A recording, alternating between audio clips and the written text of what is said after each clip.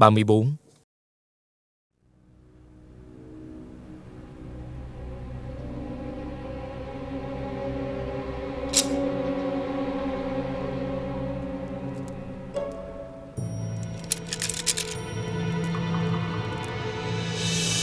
Hay. Hay. Viết rất hay. Viết rất hay. Ừm. Quả nhân có ý này từ lâu rồi. Hàng vũ tướng quân và quả nhân đúng là có cùng suy nghĩ. Quý bố tướng quân Có. Hàng vũ tướng quân Có công trừ loạn. Làm nghĩa sĩ nước sở Là may mắn của bá tánh nước sở May mắn lớn của quả nhân. À, Lên hàng vũ Làm thượng tướng quân Thống lĩnh các bộ Toàn quân. Đều phải nghe lệnh điều động của hàng vũ. Mạc tướng đã hiểu. Bệ hạ, Quân lệnh tại thân, Quý bố lập tức xuất thành, Quay về phục mệnh. À quý bố tướng quân, Quả nhân, Đích thân tiễn khanh xuất thành, ấy. Mạc tướng không dám. Bệ hạ, Người nên ngồi tĩnh tâm lại đi. Cáo lui.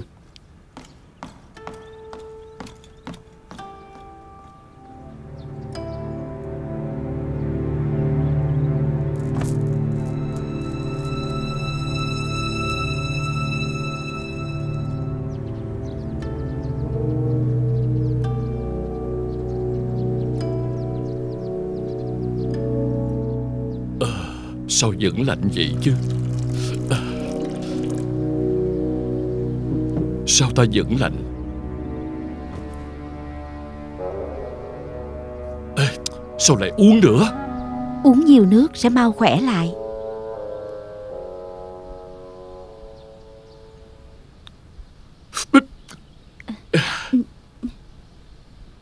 Nóng chết ta rồi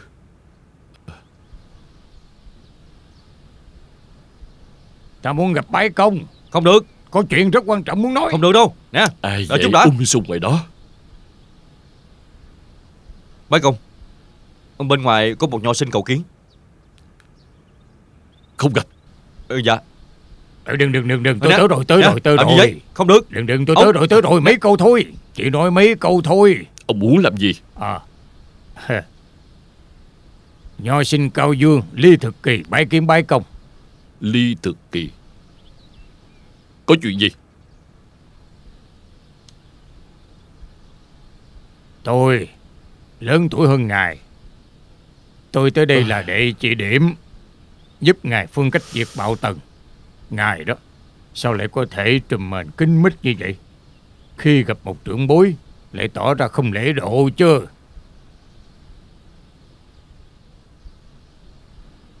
Rốt cuộc ông muốn làm gì Chỉ cho ngài cách diệt tần Bây giờ ta không có muốn nghe.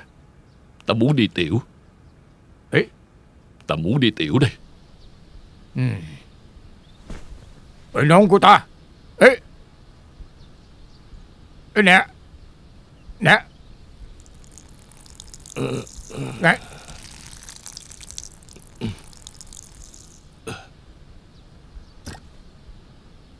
Sao ngại? Ngại. Trời Nè nè nè nè. Đủ đi. Ngại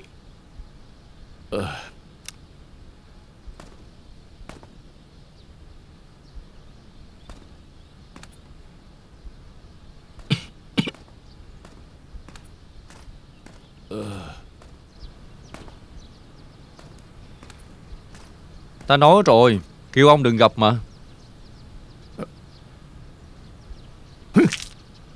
Ê, ê, nè ơ,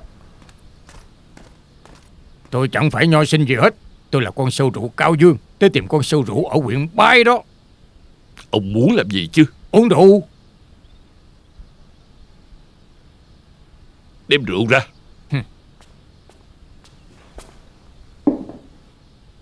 Uống uống. Cái gì? Tôi uống trước. Được. Tôi uống trước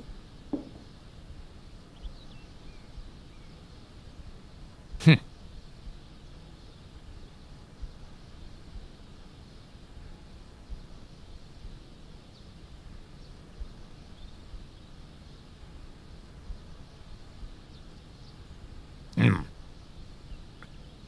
À, tôi uống rồi. Đây. Đây là của ngài đó. Ta uống được sao Bây giờ ta đang bệnh ta uống được sao Hey. Hả uống đi Hey, ngài đó. Không những uống rượu không được, mà đánh trận cũng không xong. Lính của ngài chưa tới được võ quan đã bị dẹp sạch rồi. Ngài coi đi. Đánh xương ấp không xong. Quay lại đánh lệ thành. Hạ lệ thành không xong. Lại quay đầu đánh xương ấp. Kết quả bị Trần Lưu chặn đứng.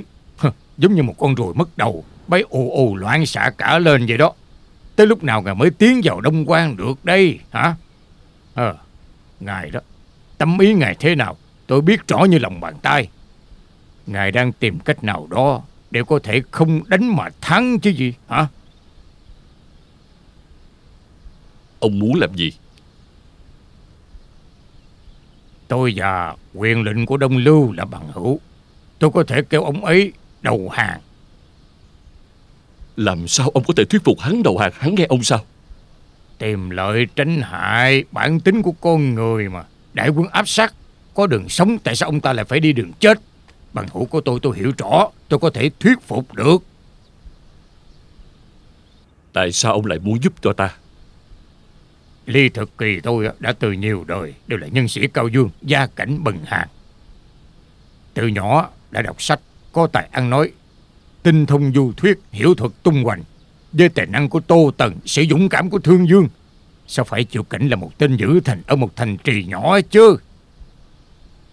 Bởi vậy tôi vẫn luôn chờ đợi sự xuất hiện của một minh chủ. Ê, Được rồi được rồi Đừng có nói nhiều Làm sao ông biết tôi là minh chủ Quân đội của ngài sau khi vào thành không phá hoại mùa màng, kỷ luật nghiêm minh, không hại bá tánh. Chủ nhân của một đội quân như vậy, đương nhiên là một vị vua nhân hậu rồi. Ông nói coi Ông giúp tôi thế nào Nếu như mà ngài đồng ý tin tôi, tôi sẽ tới chỗ Trần Lưu một chuyến. Ngài thấy sao? Ờ Ông không những có gan Mà còn có trí. Vậy ta xin nhờ ông vậy Ê, không dám, không dám, không dám. Vậy tôi đi đây. ừ, Không có tiễn xa được.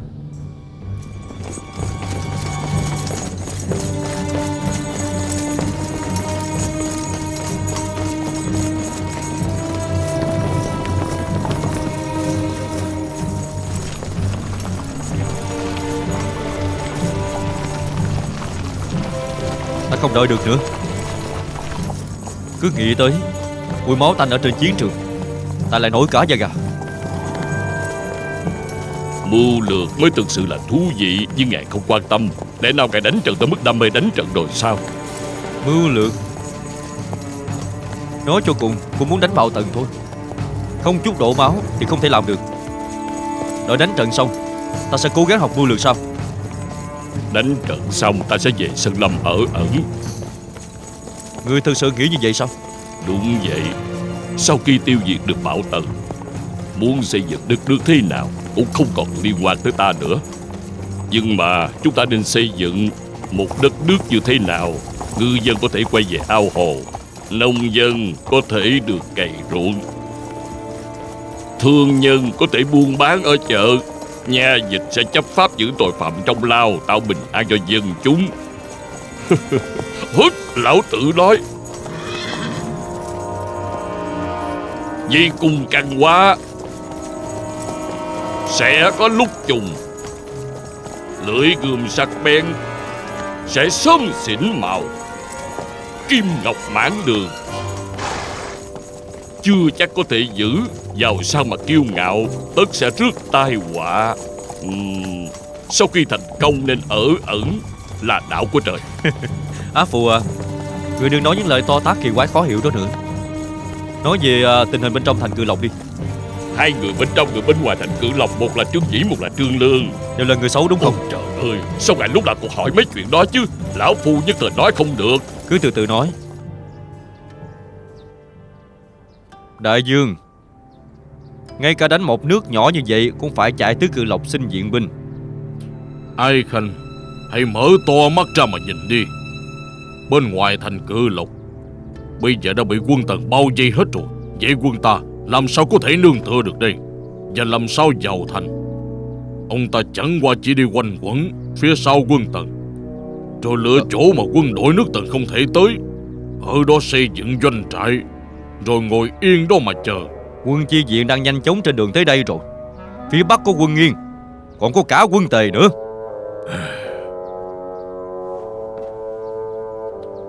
Bọn chúng chẳng qua chỉ giả vờ vậy thôi. Xây dựng một số doanh trại tạm bỡ ở khắp nơi. Để chờ đợi cho tới khi thời cơ tới. Việc nghiêm trọng nhất là Bọn chúng xuất quân hoàn toàn vì tình nghĩa. Cho nên chúng sẽ cố hết sức để né tránh thường vong. Trong mắt của bọn chúng Thành cử lộc rơi vào tay giặc chỉ là chuyện sớm muộn. Có điều, Khi đại chiến bắt đầu Bọn chúng có thể chạy khỏi chiến trường như thế nào? E là, Đó mới là chuyện bây giờ trong lòng họ đang thấp thỏm. Theo như quả nhân thấy, Bọn chúng là kẻ bàn quan đứng ngoài cuộc chiến. Diện quân không giống diện quân. Thật sự là giống như Chạy trốn tới cử lộc vậy. Bản thân quân tần Cũng có yếu điểm. Chúng cũng không thể điều thêm quân Tới quan trung được. Nhưng bọn chúng có đường hầm Cái gọi là đường hầm vốn dĩ là chỉ cái thùng có thể chứa đầy 10 đấu lương thực. Đường hầm này giống như bức tường bao quanh một con đường giống như cái thùng vậy. Cái thứ đó Không phải doanh chính sử dụng khi du tuần sao Đúng vậy, Dương Hàm coi nó như là một báo vật vậy. Hắn ta đã cho xây dựng những bức tường gạch vừa cao vừa dài ở hai bên mặt đường để tránh binh lính đột nhập vào trong, tránh sự xâm chiếm của kẻ địch. Con người này thật là có tài Ờ, có cái hầm này rồi, không chỉ vận chuyển lương thực, mà cả việc vận chuyển quân tập kết cũng sẽ được an toàn. Dương Hàm hắn lợi hại hơn nhiều so với chúng ta nghĩ. Đừng có thổi phồng lên Ta có cách của mình Ừ.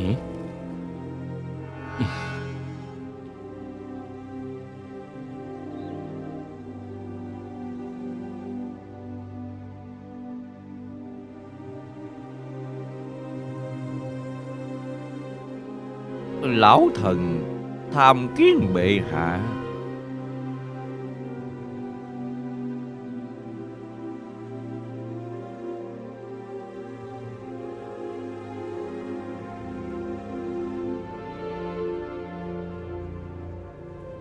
Nói ta nghe bệ hạ, Bị như vậy bao lâu rồi? Khởi bẩm thừa tướng, đã bảy tám ngày nay rồi.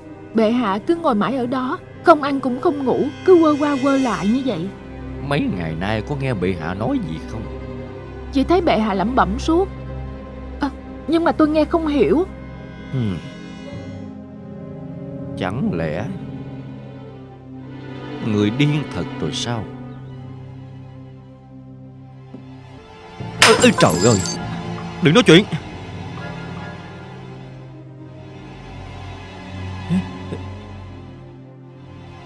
Phụ hoàng Người đang ngồi yên Ở trên mây rồi hả Hài nhi Có tiến triển rồi. Thành tiên Đắc đạo rồi.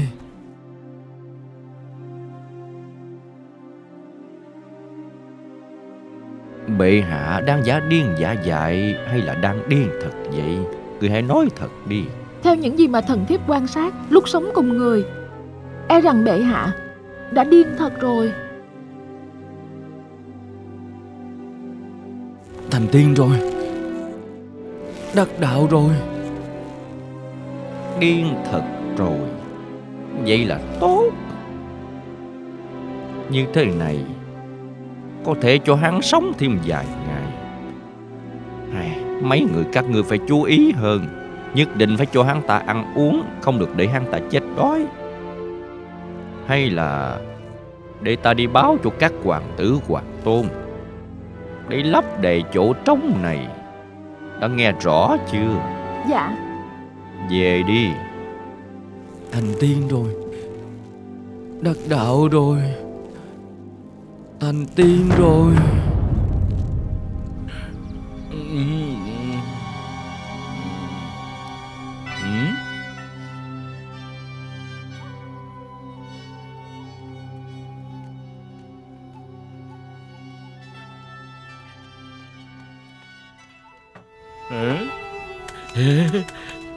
ngon quá đi ngon quá đi.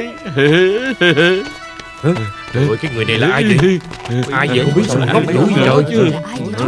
Không được ăn đâu, ăn không được đâu, ăn vô sẽ chết đó. Trời ơi, dơ lắm. ngon ngon quá ngon quá ngon quá. Nè đứng dậy đứng dậy Đứng dậy đi không được ăn. Nè Nè đứng dậy đi. Đây là vàng đó. Nè không được ăn. Người nhà tới tìm ngươi kìa Đúng Nhìn thấy cái gì là ăn cái đó hả? Đừng ăn nữa, đâu đứng dậy đi, đứng dậy đi, đứng dậy, đứng dậy, đứng dậy. Ờ, Nào, đứng dậy đi. Đứng dậy đi. Ờ. Đúng là ngốc thiệt. Đúng là điên thiệt tình. Ờ. Kỳ cục. Bị Đúng là gì ngốc gì đâu.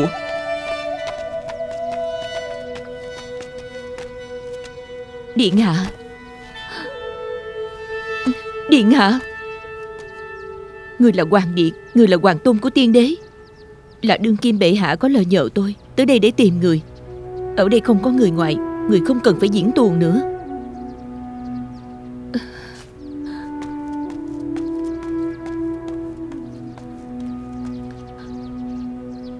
Đây là ngọc bội của tiên đế, Dùng để làm tính vật.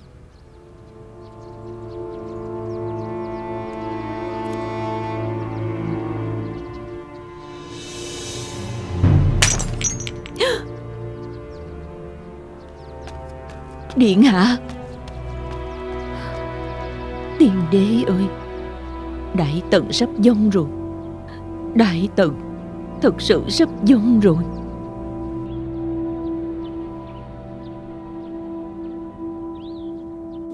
Chư vị Đại huynh Xin hãy uống cạn chén này. Mời. Mời, mời, mời, mời, mời.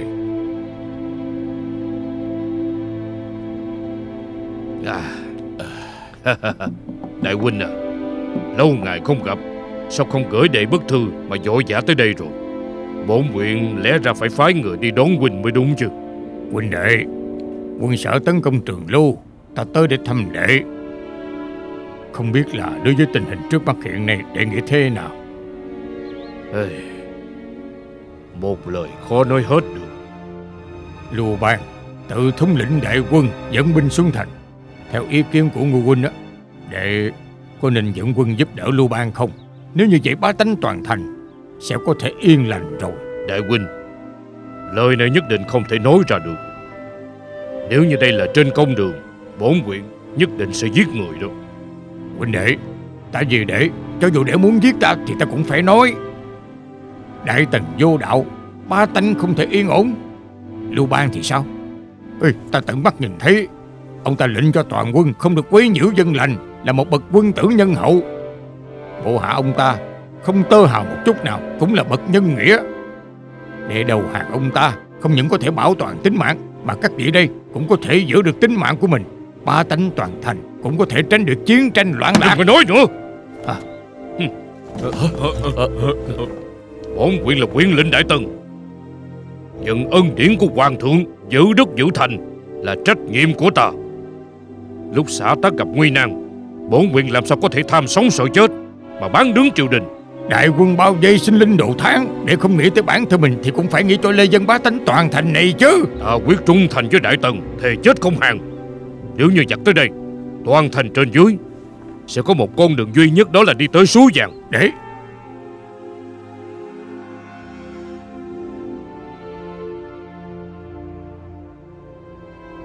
Được. Nếu đã như vậy Ngô Huynh chỉ có một câu Muốn nói.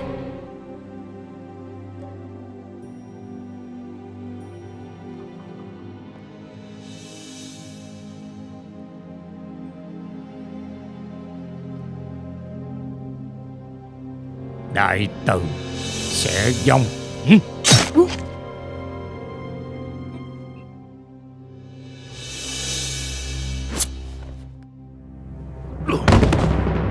Đại nhân Đại nhân Đại nhân Mau bỏ vũ khí xuống Mau bỏ vũ khí xuống. Ta nghĩ các vị Đều không muốn làm vật hy sinh cho đại tận đúng không? Đại quân của bái công Đã bao vây hết toàn bộ trận lưu rồi Muốn sống. Chỉ còn cách đầu hàng bái công. Ờ, Ông hãy nói có lý Chỉ còn cách Đúng rồi. thôi Chỉ còn cách như vậy thôi. Đúng rồi Chỉ còn cách như vậy thôi. Ừ, Cũng phải đó. Vào thời khắc này Một cảm giác rất phức tạp Lần đầu tiên phát sinh trong lòng Lưu Bang. Giết hay không giết, Không ngờ lại khác nhau tới vậy. Một ý niệm cơ bản muốn cứu lấy tính mạng của nhân dân Đã bắt đầu manh nha từ đây.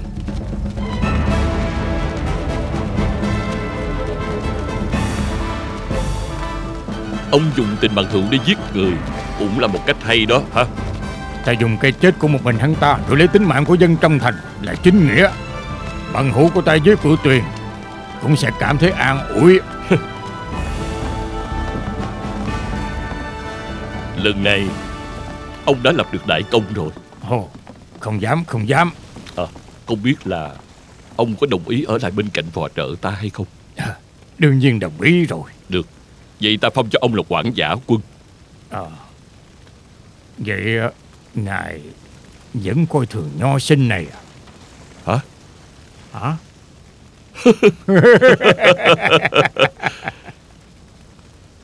Ông cảm thấy Bước tiếp theo đây ta nên làm thế nào? Bước tiếp theo Tây tiến Đi đánh khai phong được không? Ông nghĩ giống ta rồi đó. Ồ. Triệu phủ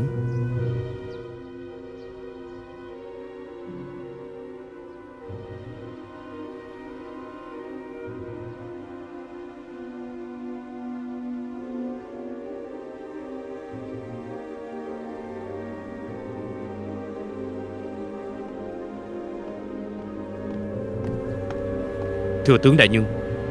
Diêm lạc cầu kiến.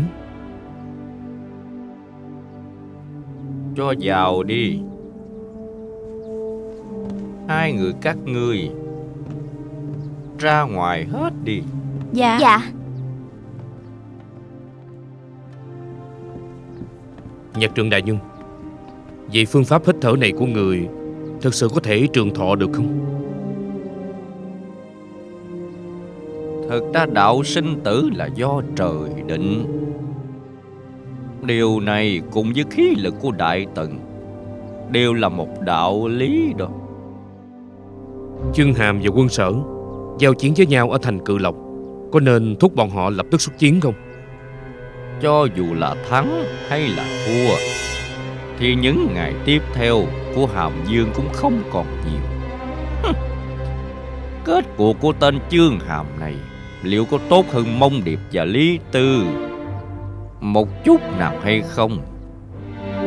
Thủ thành ở Uyển Thành phái người tới thông báo. Có một đội binh mã khoảng chừng mấy vạn người Đang vượt qua chiến trường chính Hoàng Hà Trực tiếp tiến thẳng tới Quan Trung. Mấy vạn người? Tướng thủ thành của quân ngải này là Dương Hùng sao? Đúng vậy. Người này có thể coi là mảnh tướng. Ừ Lệnh cho hắn dẫn binh xuất quan Đem đám giặc cỏ này Tiêu diệt cho ta. Vũ Quang là cửa ngõ phía nam của Quan Trung. Nếu làm như vậy Ai sẽ thay hắn trấn thủ cửa này đây? Mặc kệ đi. Ngươi quản những chuyện đó làm gì chứ? Mau về đi. Dạ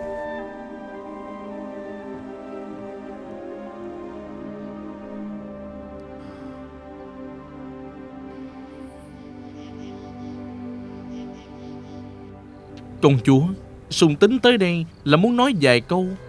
Người che giấu giả tâm Không ngờ ngươi mưu phản. Công chúa Giờ đã tới lúc nào rồi?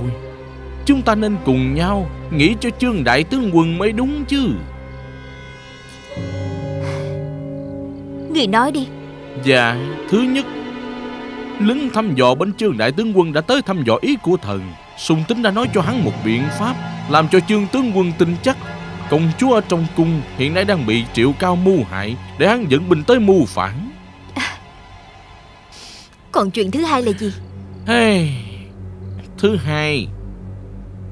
Tới nay trương tướng quân vẫn cứ an bình bất động.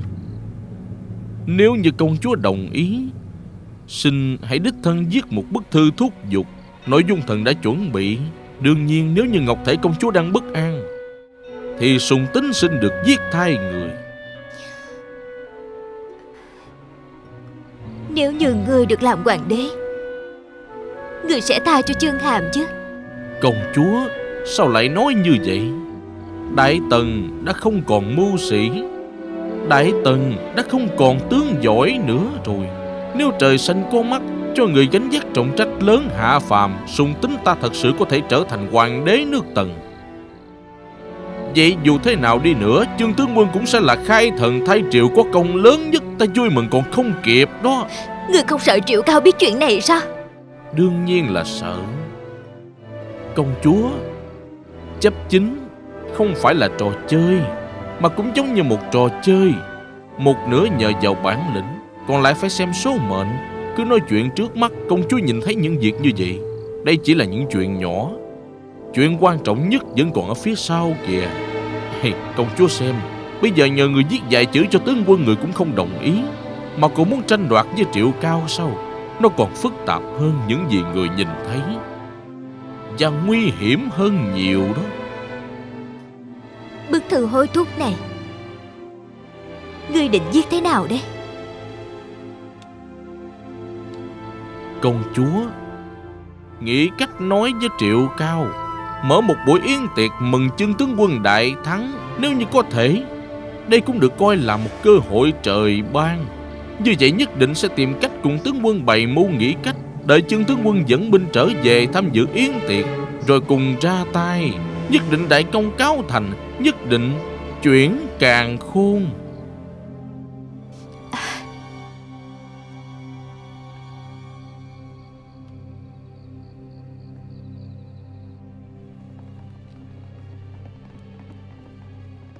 Đại nhân Đại nhân, Đại nhân. Đại nhân. Đại nhân. Từ từ từ từ đừng nóng vội. Trong cung vừa truyền tin tới Nói là triệu cao đột nhiên cho hàng ngàn quân binh nhập cung Danh nghĩa là thân vệ quân Nói là truyền tới bảo vệ hoàng thượng Hiện đang ở trong cung an phòng Lẽ nào Triệu Cao đã phát giác rồi? Cái mũi của hắn cũng tính thật Tất cả người bên cạnh cũng không thể nhìn ra được nữa đó. Hmm. Nên biết sẽ biết. Cho nên, những ngày này nhất định phải tuyệt đối cảnh giác. Nếu không, một khi mọi chuyện bị lộ ra, tru di tam tộc máu chảy thành sông. Sung tính đại nhân Triệu thừa tướng mời ngài tới phủ Ồ, vậy sao? Nói đi, có chuyện gì? Mời ngài tới phục vụ câu cá Thế trời ơi À, Ở đâu có chuyện nửa đêm đi câu cá chứ Trừ phi Bên cạnh triệu cao Luôn có thủ đao chờ sẵn Dù trong bóng tối Nhưng vẫn có thể xuyên thấu tim gan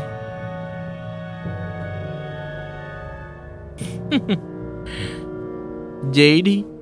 Ngươi hãy mau quay về bẩm báo với thừa tướng. Ta giờ mới đi ngủ, bây giờ cần phải sửa soạn một chút. Lập tức sẽ tới phục vụ có được không? Mau đi.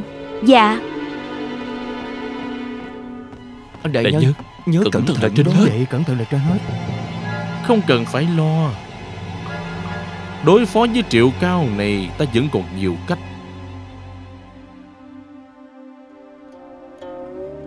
Mang rượu tới đây.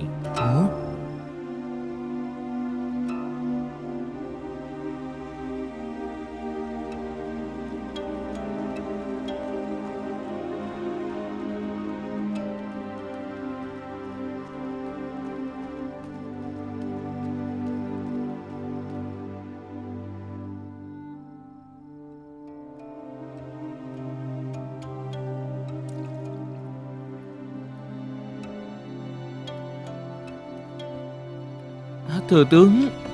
Thần sùng tính bái kiến thừa tướng đại nhân. À, Thừa tướng. À, Thừa tướng. Thần đã ngủ rồi. À, Thừa tướng Sùng tính đáng chết. À, Xin tha tội. Không có người. Món mồi này vẫn phải để ta tự tay làm. À, Thừa tướng. Cũng tại sùng tính uống hơi quá chén Lại chơi vài dáng xúc sắc. À, à, Thừa tướng Sùng tính Thật không ra gì mà. À, Thật không ra gì. À, à, Thật không ra gì Thật không ra gì Thật Ừm. không ra gì. Thừa Ta tướng. lại rất thích người như vậy. À, à, Lại đây, lại đây Dạ.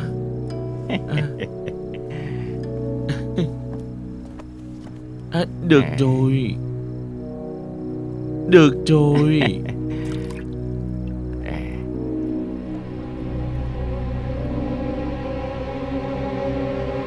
ấy cắn câu rồi Ê, cắn câu cắn câu rồi. À, nào. Ê, câu được rồi. cắn câu rồi. Ê, Trời ơi. Ê, câu được rồi. Phóng thích đi. Phóng thích. Đúng. Ê. Thừa tướng Tại hạ có một chuyện không hiểu ý người muốn hỏi sao ta lại câu cá trong thùng đúng không? Ừ. Đạo lý rất là đơn giản. Sao ta lại dùng cần câu liễu để câu cá ở đây hả? Chỉ là không đi được cũng không dám đi nữa. Hmm. Đúng vậy. Nếu như trong phủ Có thể xây một cái hồ cá lớn thì tốt rồi. Thừa tướng sẽ được câu thỏa thích. Nói gì? Ừ. người nói sao chứ? Người người nói hay lắm. Người đúng là quá hay đó sao ta không nghĩ tới chuyện này chứ? Sùng tính. Ừ. Bắt đầu từ ngày mai Ta cho ngươi thời gian 15 ngày. Hãy xây dựng một cung điện giống như cung A Phòng Và một cái hồ cá lớn giống y vậy. 15 ngày. Lẽ nào còn thiếu vài ngày ờ, sao? ờ, Không thiếu không thiếu. Không không không Không cần thêm nữa. Không không không không đâu thừa tướng. Thời gian vừa đủ rồi. Ừ. Vậy ngươi quay về ngủ đi. Bắt đầu từ ngày mai Ngươi sẽ phải vất vả rồi Nếu như ngươi xây tốt hồ cá này Ta sẽ đồng ý với ngươi một chuyện.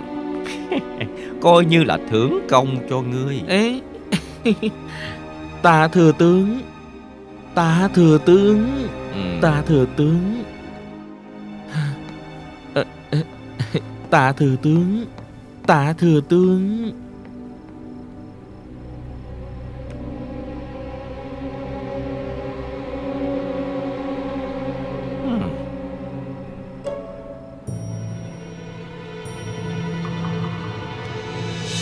Chỗ trùng này Có phải ngày nào cũng thay không? Khởi bẩm đại nhân Số trùng trong chậu này do sung tính đại nhân thay hàng ngày đó. Hôm nay hắn ta quên rồi.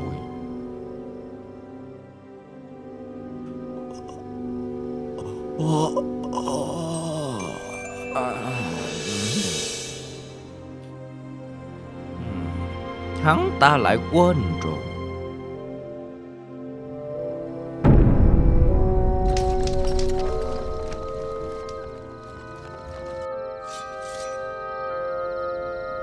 Chủ này là Dương Hùng. Đây là Khai Phong. Hiện chúng ta đang ở đây. Các ông nói nên đánh Dương Hùng trước, Hay là đánh Khai Phong trước? Trước đến khai phong, Nhất định phải chiếm được khai phong trước khi tới được Dương Hùng. Bằng không, để rơi vào tay địch Thì sẽ khó khăn đó. Nhưng nếu như mình không chiếm được, Lúc đó sẽ càng phiền phức lớn. Bởi vì nơi hiểm yếu sẽ rơi vào tay của địch.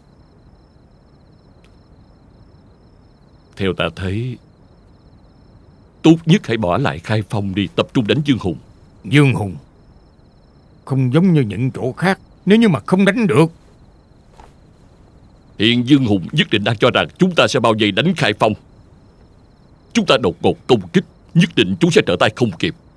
Phải biết là Chúng ta chỉ có thể sang bằng Dương Hùng trước Mới có thể bao vây Khai Phong này Một cách dễ dàng. Muốn đánh thế nào thì cứ đánh vậy Ông thấy thế nào ừ. Cũng được Lưu quán Có Sáng sớm ngày mai triệu tập các tướng sĩ Công đánh Dương Hùng Dạ Sang bằng nơi đó trước đi yeah. Yeah. Yeah. Yeah. Yeah. Yeah. Yeah. Yeah.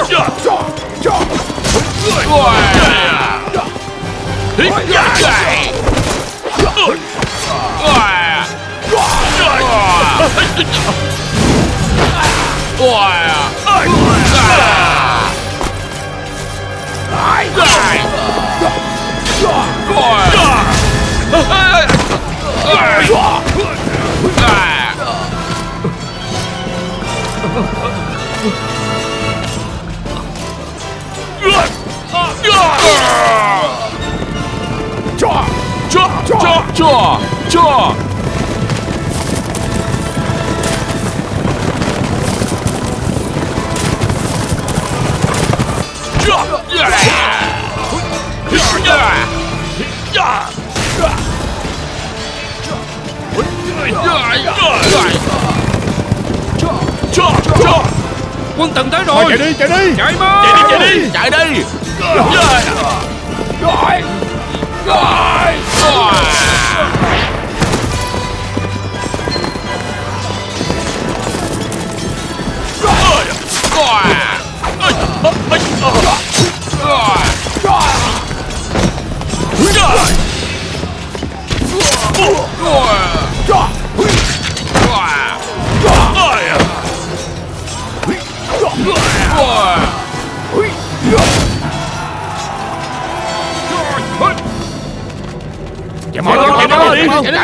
đi, chạy thôi Đốt liều chạy Mau chạy thôi. Đốt liều chạy, mau chạy thôi. Mau chạy đi. Mau lên, mau Chạy lên. Đi. Mau lên. Chạy đi. Đốt liều chạy. nhanh chạy thôi. Nhanh lên. Nhanh lên Nhanh.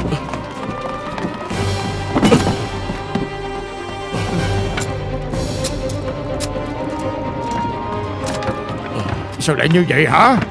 Vốn dĩ là chúng ta đánh thắng rồi. Hả? Không biết là quân tần ở đâu ra. Đánh chúng ta tan tác như vậy chứ.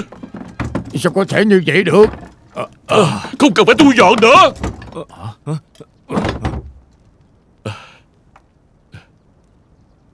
Vậy đi. Chúng ta Tranh thủ lúc hỗn loạn chạy đi. Nếu như chúng ta còn có thể gặp lại, Chúng ta sẽ gây dựng tiếp. Nếu như Không thể gặp lại nhau, Coi như là chúng ta chia tay luôn từ đây. Ở Ờ, chú Công. Vậy Mau Chú Công Không kịp nữa rồi Người mau chạy thôi. Đại doanh đã bị quân tần bao vây rồi. Chú Công Chúng tôi liều mạng với chúng. Liều mạng với bọn chúng đi.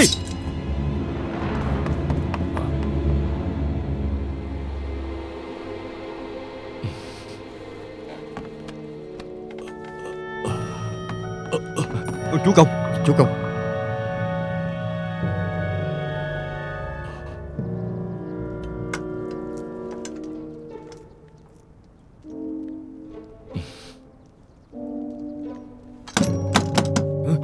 Chú Chú Công. Chú Công. Chú Công. Chú Công.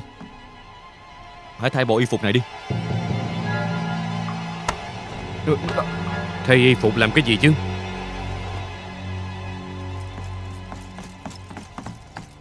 Mọi người đang muốn đi đâu vậy?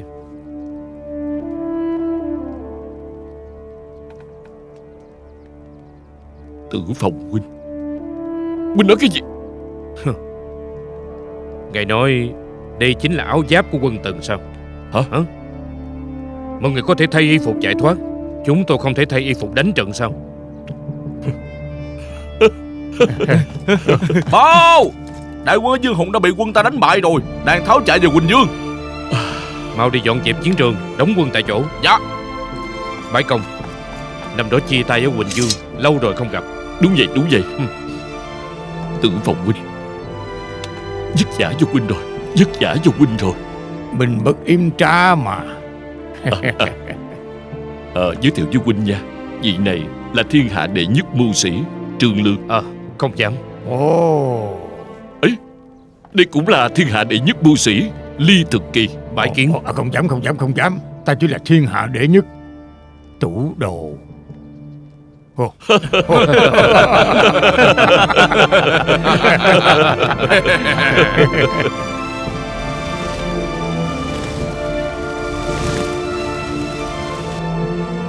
năm trở lại đây. Tôi phò tá Hàng Dương.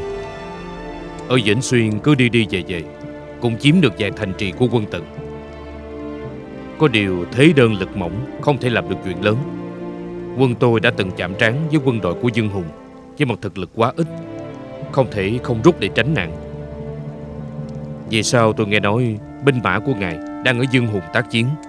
Tôi thấy đây chính là một cơ hội tốt để loại trừ hắn ta. Tôi điền lên tất cả chuyện này, báo lên Hàng Dương thật tường tận. Nhưng mà người lại do dự không quyết. Nhưng thời cơ thì không thể để mất được. Tôi liền đưa toàn bộ người và ngựa xuất phát tới đây. Vừa kịp lúc tới Dương Hùng thấy ngài bị đánh cho đại bại. Tôi liền vòng sang một bên, nhưng lúc hắn sơ suất, không kịp cảnh giác, đánh cho hắn một trận không kịp trở tay luôn. Hàng dương này Quả nhiên khiến người khác thất vọng nhưng cũng vì huynh Ta mới giúp cho hắn thôi. Ta nghĩ Trước hết đừng tới Quỳnh Dương Trước hết giúp hàng dương của huynh Thu hồi lại đất đã mất. Tấm lòng của bái công Thật khiến người ta khâm phục. Đúng là một vị anh hùng. Quá khen. Bái công à Làm quan trước hết là vị vua. Tôi muốn hỏi ngài là Sau khi làm quan. Ngài có chỉ vì hoàng thượng thôi không? Ta không hiểu Ý huynh là gì. Ngài có từng nghĩ rằng Sau khi làm quan Có được thiên hạ? Có được thiên hạ. Làm vua. Đúng. Làm vua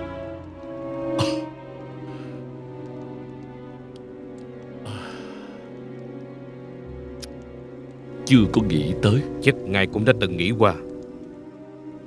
Ba năm trước Ngài có từng nghĩ tới Ngài dẫn theo vài vạn quân mà có thể đánh bại được quân Tần không? Nhưng bây giờ Ngài đã làm được rồi.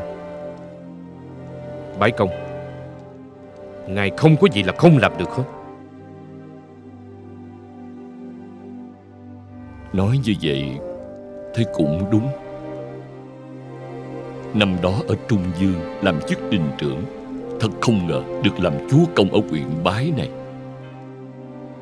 Sau này, Tập hợp với hạng vũ.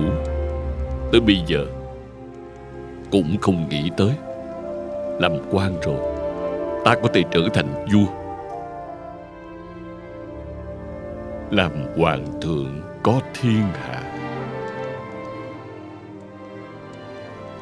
Không phải đang mơ chứ.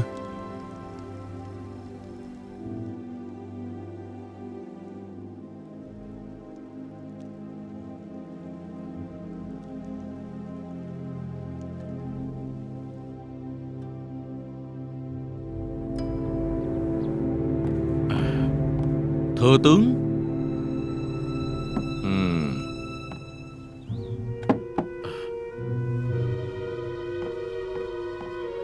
Tư Mã Hân đại nhân. Có. Làm phiền ngươi Hãy đem cái hộp này Mở ra có được không? À, à, Dạ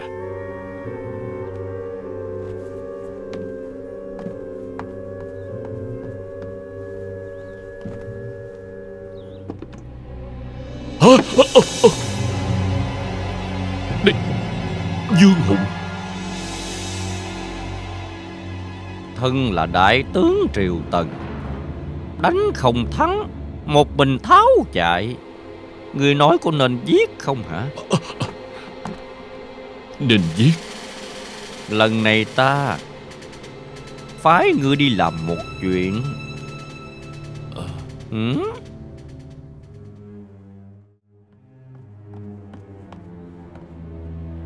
Chương hàm tướng quân. Đánh trận bên ngoài vô cùng cực khổ Nên bệ hạ Cũng đang rất quan tâm. Vì vậy đặc biệt lệnh ngươi Tới đó giúp một chuyến. Thần nhất định sẽ không phụ thánh mệnh. Lần này ngươi đi Thì không cần trở lại nữa. Ngươi có thể theo tên chương hàm tướng quân đáng thường đó Thường xuyên ra ý kiến cho hắn. Dạ Thần lập tức đi ngay Khoan đã. Đem cái này đi đi. Hiện chương hàm tướng quân Hiện đang là trụ cột của quân tần. Nhưng chúng ta tin hắn tuyệt đối sẽ không giống với bọn tầm thường đó. Hả? Lơ là chức trách. Ờ Thần hiểu. Ngươi chưa hiểu đâu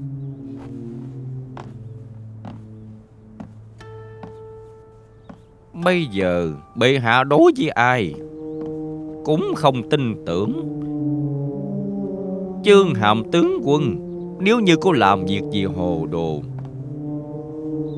Ta biết là Ngươi biết nên làm gì. Dạ. Tư Mã Hân Thúc phụ của tên Hạng Vũ Là Hạng Lương có phải không Bọn chúng đã từng giết nhiều người ở Hàm Dương. Không biết được là ai Thả chúng đi rồi. Đương nhiên rồi Ai cũng biết hiện giờ hai thúc phụ họ đã phát triển tới thế nào. Có chuyện này sao hả? Ờ Hạ quan cũng không nhớ rõ nữa. Ồ Không nhớ rõ nữa. Không nhớ rõ cũng tốt thôi Nhưng mà Cái gì nên nhớ Thì nhất định phải nhớ đó Dạ Dạ dạ. Đi đi. Dạ. Lấy ngân lượng đi chứ. À, Đa tạ Đa tạ.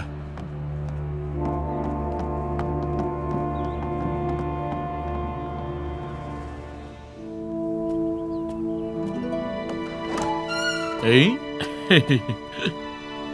Công tử Điện Hạ, Xin hãy cùng tôi trở về Hàm Dương.